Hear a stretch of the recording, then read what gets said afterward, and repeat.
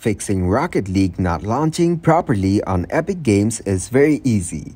Today I'm gonna show you how to do it. To solve this error, firstly search for system information from the search bar.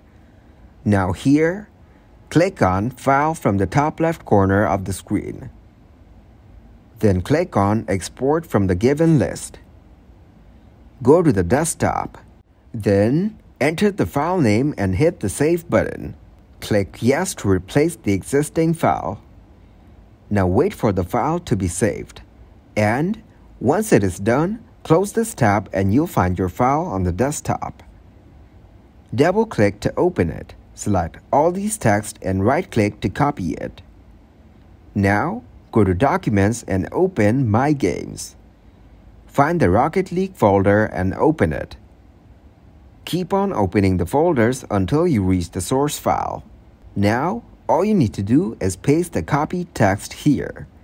Then, click on File and select Save As. Name this file and save it. Now, you just need to restart your system and the error will be fixed.